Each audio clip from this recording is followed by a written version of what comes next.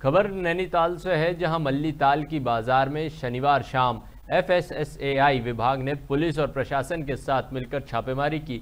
Team ने नियमों का उल्लंघन करने वालों पर कानूनी कार्रवाई की। वरिष्ठ खाद्य सुरक्षा अधिकारी अभय कुमार सिंह ने बताया कि खाद्य सुरक्षा आयुक्त के निर्देश और डीएम के आदेश के क्रम में कल हल्द्वानी और रामनगर तथा आज भीमताल भवाली और नैनीताल के मल्लीताल बाज़ार की चेकिंग की जा रही है। इसमें मुख्य रूप से खोया, पेठा बतासा पतीसा और मिठाइयों आदि की जाँच की जा रही है। टीम ने बाज़ार के कुछ रेस्टोरों में खाद्य पदार्थों की सैंपलिंग की, राशन की दुकानों में बिक रहे सामान की भी जाँच की। टीम ने दुकान की साफ़ सफ़ाई और वहाँ चल रहे निर्माण कार्यों पर चालान की कार्यवाही भी की है। बताया जा रहा है कि विभाग ने मिठाई जैसे खाद्य पदार्थों पर तारीख लिखने की अनिवार्यता खत्म कर दी है। बताया गया कि सैंपल फेल होने पर तीन से पाँच लाख रुपए तक का जुर्माने का प्रावधान है।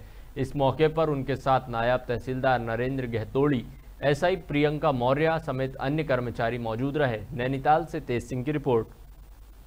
तो महोदय, देहरादून के निर्देशों के क्रम में और जिला अधिकारी महोदय आदेशों क्रम में पूरे जनपद में हमारा अभियान चल रहा है, जिसमें कल हल्द्वानी, रामनगर इत्यादि सभी जगह चल रहा है। जगह जगह पे खाद्य पदार्थ, विशेषकर मिठाइयाँ वगैरह जो है चेक की जा रही हैं। इसी क्रम में आज जो है हमने भीमताल भवाली और मल्लीताल में हमने कुछ मिठाइयों के नमूने लिए हैं। जिसमें एक पेठा का है एक बतीसा है एक बेसन लड्डू है और एक बर्फ़ी है।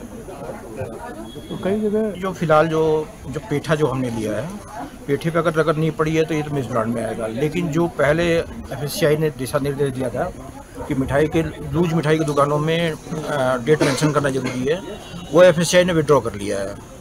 वो जो आदेश था अपना विड्रॉ कर लिया है, अब मैंडेटरी नहीं है। अगर जो चाहे वो डाल सकता है, जो ना चाहे ना डाले। हराए हैं सब स्टैंडर्ड आता है फिफ्टी वन में, उसमें पाँच लाख की तो पेनल्टी है फिफ्टी टू में तीन लाख की पेनल्टी मिसलैंड में। तो जैसे हम सैंपल भेजेंगे, रुद्रपुर लैब जाती है, और जाँच रिपोर्ट के आधार पे ही हमारा चलानी रिपोर्ट बनता है उसके आधार पर हम